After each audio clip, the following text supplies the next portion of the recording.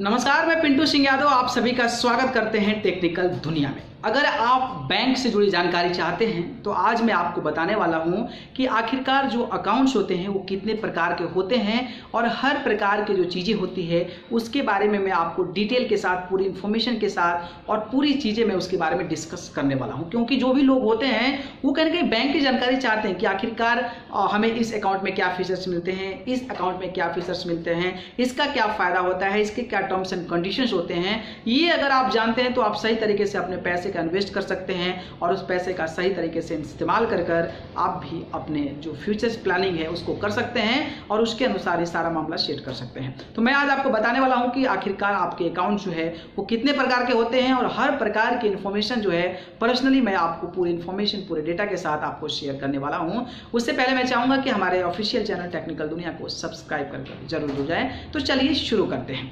तो आप सभी को पता होगा कि सेविंग अकाउंट और करेंट अकाउंट के बारे में आप सभी को पता होगा। होगा। लेकिन इसके अलावा भी और भी अकाउंट्स होते हैं जिसको लोग जो जनरल यूज़ करते हैं लाइक जो आपका सेविंग अकाउंट्स यूज़ करते हैं तो शायद उनको ये सारी चीज़ें पूरी डिटेल में नहीं पता होती है। तो मैं आज आप उनको बताने वाला हूँ जो सिर्फ़ current account saving account use करते हैं। इसके अलावा भी आपके अकाउंट्स होते हैं, उसका भी आप इस्तेमाल कर सकते हैं। तो चार तरीके का आपका अकाउंट होता है। चार चीज़ें मैं आप सभी ने सुना होगा कि करंट अकाउंट सेविंग अकाउंट आपने सुना होगा, लेकिन दो और एक, दो और अकाउंट हैं उसके बारे में मैं आपको बताऊँगा। तो पहली चीज़ मैं आपको बताऊँ दूँ, बता दूँ, उससे पहले मैं आपको बताना चाहूँगा कि ये जो बैंक अकाउंट्स होते हैं, वो चार प्रकार के होते हैं। पहला होता है आपका सेविंग अकाउंट दूसरा होता है करेंट अकाउंट चौथा होता है आप, तीसरा होता है आपका रिकरिंग अकाउंट और चौथा होता है आपका फिक्स्ड डिपॉजिट फिक्स डिपोजिट का आपने नाम सुना होगा।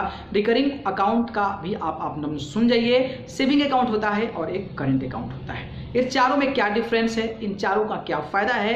एक एक करके मैं आपको एक्सप्लेन कर रहा हूँ। तो सबसे पहले मैं आपको बताना चाहूँगा सेविंग अकाउंट जनरली जो भी हमारे पास खाता होता है, जो नॉर्मल लोग होते हैं, जिनके पास लगभग ये खाता होता है, और जो लोग बैंक से पैसा जमा करते हैं, कुछ पैसा जमा करना, कम पैसा जमा करना हो, उसको निकालना हो एटीएम लेना हो तो ये सारी चीज़ें जो है ना सेविंग अकाउंट्स में आती है। और वो लोग यूज़ करते हैं जो डेली पैसा निकालना हो, या फिर जमा करना हो, कहीं भेजना हो तो उसका इस्तेमाल करते हैं। सेविंग अकाउंट जनरली हम लोग इस्तेमाल करते हैं, जो लाइक काम करते हैं, जो जॉब करते हैं तो वो लोग जो है जनरली सेविंग अकाउंट का इस्तेमाल करते हैं। सेविंग अकाउंट का जो प्रोसीजर होता है, वो ये होता है कि आपको उस पर एडवांटेज मिलता है, यानी कि उस पर आपको ब्याज भी मिलता है। और ब्याज डिपेंड करता है कि आपका केस बैंक का है तो उसके अनुसार आपका जो है ब्याज भी डिपेंड करता है। इसमें क्या होता है कि लिमिटेशंस होती है इसमें। लिमिटेशंस होती है कि आपको इतना पैसा इसमें जमा कर सकते हैं, इतना पैसा निकाल सकते हैं। सेविंग अकाउंट जब आप खुलवाते हैं तो आपको बहुत सारे बैंक फीचर्स देते हैं। पहला तो आपको पासबुक देते हैं, इसके बाद आपको डेबिट कार्ड देते हैं एटीएम कार्ड देते हैं, और इसके बाद आपको जो है इंटरनेट बैंकिंग देते हैं, इसके बाद मोबाइल बैंकिंग देते हैं। तो ये सारे फीचर्स आपको प्रोवाइड करते हैं, आपको चेकबुक भी सेविंग अकाउंट से मिलता है। तो इस प्रकार का अगर आपके पास अकाउंट है, यानी सेविंग अकाउंट है तो इस प्रकार की सर्विसेज़ आप जो है इस्तेमाल कर सकते हैं। आपको इस पे ब्याज भी मिलता है, आपके पास डेबिट कार्ड, एटीएम कार्ड भी मिलता है, पासबुक भी मिलता है, चेकबुक भी मिलता है, आपको इंटरनेट बैंकिंग भी मिलती है और मोबाइल बैंकिंग भी मिलती है तो जनरली हम लोग यूज़ करते हैं। इसके अलावा इसमें कुछ होता है कि आपको इतने सालाना में इतना पैसा आता है, अगर इससे क्रॉस होता है तो फिर आपको वहाँ से पैसा कटता है। तो इन बातों का आपको ध्यान रखना है। दूसरा होता है करेंट अकाउंट। जब भी करेंट अकाउंट आपके जहन में आता है, इसका मतलब ये होता है कि आप बिज़नेस से जुड़ा आदमी है। बिज़नेस से जुड़ा कहने का मतलब ये है कि आपके पास बहुत ज़्यादा पैसा है और आप पैसों का काफ़ी ज़्यादा लेन देन करते हैं। आपको कोई भी लिमिटेशन इसमें नहीं होती ही, आप किसी को भी पैसा कितना भी भेजना चाहें आप भेज सकते हैं या फिर किसी भी को, कोई भी अमाउंट अपने अकाउंट में मंगवाना चाहते हैं, कितना भी पैसा हो, आप मंगवा सकते हैं। इसमें जो यूज़र्स होते हैं, इसके जो यूज़र्स होते हैं, उनको आपके ब्याज से कोई लेना देना नहीं होता है।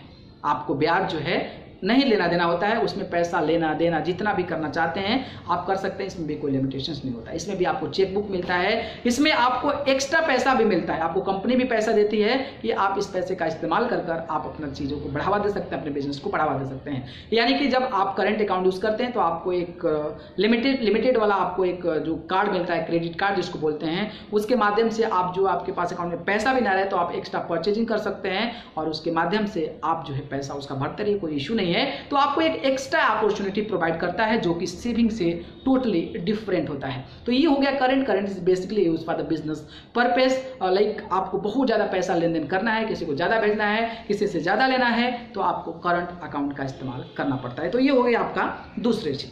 तीसरी चीज़, तीसरी जो कि अननोन है, कई लोग नहीं जानते हैं, और कई लोग जानते भी होंगे तो वो लोग भी एक बार इस वीडियो को सुनें। तीसरा होता है recurring account recurring account basically ये होता है कि हमें बैंक से पहले तो कॉन्टेक्ट करना होता है और बताना होता है कि हमें रिकरिंग अकाउंट खोलना है। और रिकरिंग अकाउंट में ये होता है कि हम मंथली वाइज एक अमाउंट जो है बैंक के साथ डील करते हैं कि इतना अमाउंट हम मंथली आपको पे करेंगे, यानी कि अपने अकाउंट में इतना मंथली डालेंगे। इसके बाद आपका एक टाइम पीरियड होता है कि हम जो है एक साल, दो साल, तीन साल, चार साल, पाँच साल छः साल, सात साल, आठ, नौ, दस साल तो आपका एक लिमिट टाइम होता है कि इतने साल तक हम पैसा जमा करेंगे।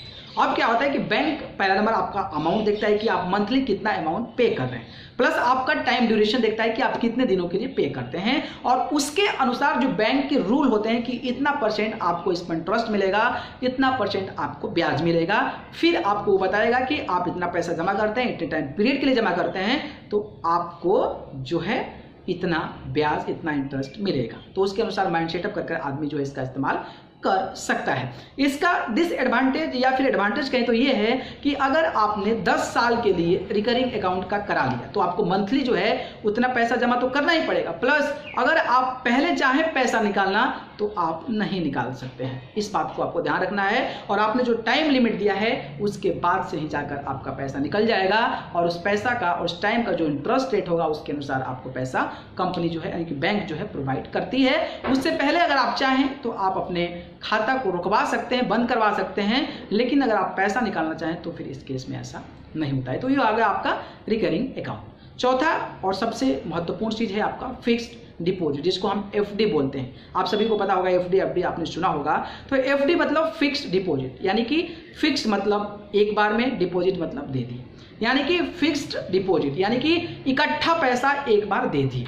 अब इस पे भी बैंक देखता है कि आप जो है इकट्ठा कितना पैसा दे रहे हैं और कितने समय के लिए दे रहे हैं। तो उसके अनुसार जो उनका इंटरेस्ट रेट होता है, उनका जो आपको ब्याज देते हैं, वो आपको बताते हैं। फिर आप जो है बैंक में इकट्ठा पाँच लाख, दस लाख, पंद्रह लाख जितना भी आपके पास पैसा है, उसको जमा कर देते हैं और जैसे ही आप जमा करते हैं, उस दिन से आपका ब्याज लगना शुरू हो जाता है और फिर एक पर्टिकुलर टाइम डेट जो दिए होते हैं, उसके बाद से आप चाहें तो उस पैसे को विड्रॉ कर सकते हैं और उसका जो इंटरेस्ट उसका जो ब्याज होगा कंपनी आपको प्रोवाइड कर देगी। और इसमें ये भी नियम है कि फिक्स डिपॉजिट जब कर देते हैं तो आपका टाइम पीरियड खत्म हो जाएगा, उसी के बाद आपका पैसा मिलेगा।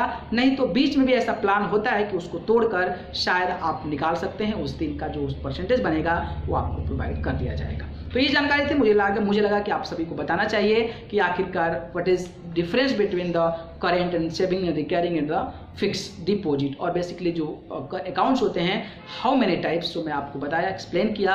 अगर इसमें कोई जानकारी छूट गई होगी तो आप ज़रूर हमें कमेंट बॉक्स में पूछें कि आखिरकार इसमें क्या होता है, क्या नहीं होता है, क्योंकि बहुत सारी चीज़ें होती है जो कि छूट जाती है, जो कि छोटी एक एक माइनर लेवल पे जो माइक्रोस्कोपिक लेवल पे जो छोटी जो मिस्टेक्स होते हैं, वो कहीं ना छूट जाते हैं। तो अगर आपको इसमें बारे में अगर लगता है कि और भी जानकारी इसमें प्रोवाइड करनी चाहिए थी आपको तो आप कमेंट बॉक्स में ज़रूर बताएँ, मैं आपको इसकी जारी जानकारी जो है आपको प्रोवाइड करूँगा। अगर ये वीडियो पसंद आए तो उसको लाइक कमेंट शेयर करें और चैनल को पसंद करते हैं तो सब्सक्राइब करके ज़रूर जुड़े। अगर आप मुझसे जुड़ना चाहते हैं तो आप मुझे फेसबुक इंस्टाग्राम ट्विटर पर जाकर पिंटू सिंह यादव सर्च कर ज़रूर जुड़े, नहीं तो मुझे डिस्क्रिप्शन में लिंक दे देता हूँ, वहाँ से जुड़ सकते हैं। आप सभी को बहुत बहुत धन्यवाद। नमस्कार